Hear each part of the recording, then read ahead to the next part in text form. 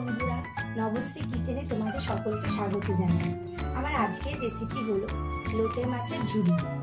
এই লোটে মাছের ঝুড়ি বানানোর জন্য কি কি উপকরণ নিয়েছি তাহলে চলো সেটা আগে দেখিয়ে নিই। এখানে আমি লোটে মাছ প্রথমে জলে দিয়ে ভালো করে পরিষ্কার করে কেটে নিয়েছি।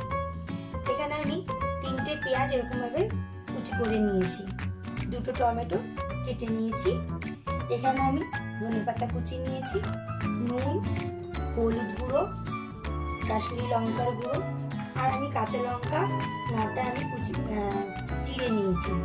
আর এখানে নিয়েছি আমি আদা বাট, আদা বাটা, রসুন বাটা, আর তেজপাতা, আর গোটা শুকনো লঙ্কা।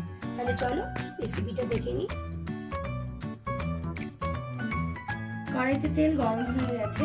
এবার আমি গোটা শুকনো লঙ্কা আর তেজপাতা আমি ভেজে দিই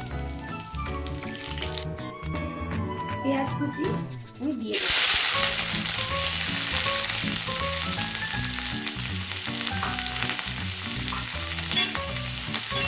পেঁয়াজটা আমি লাল লাল করে ভাজবো।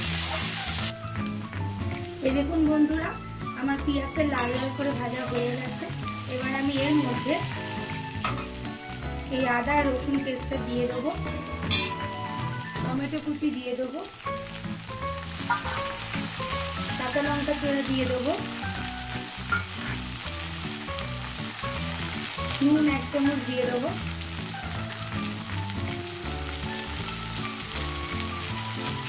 হলুদ এক চামচ আরও এক চামচ হলুদ দিয়ে দেবো।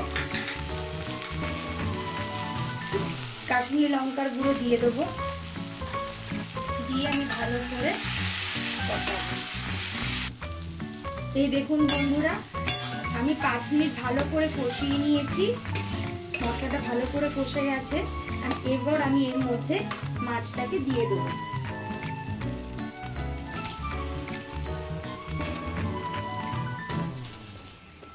এর মধ্যে আমি আরও এক চামচ নুন আর এক চামচ হলুদ গুঁড়ো দিয়ে আমি ভালো করে নেড়ে চেড়ে মশলাটা মিশিয়ে দিয়ে আমি কষাতে থাকি এই দেখুন বন্ধুরা, আমার পুরো কষানো পুরো রেডি হয়ে গেছে, জল পুরো সোপ হয়ে গেছে। তো আমার পুরো লোটে মাছটা রেডি হয়ে গেছে ঝুড়ি। এরপরে আমি এর মধ্যে ধনে পাতা কুচি দিয়ে দেব।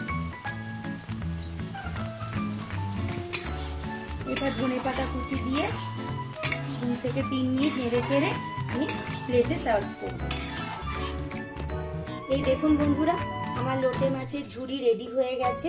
এই রেসিপিটা আপনারা বাড়িতে সবাই ট্রাই করবেন, অসম্ভব সুন্দর লাগবে খেতে। আর এটি এটি গরম ভাতের সাথে খুব ভালো লাগে। আর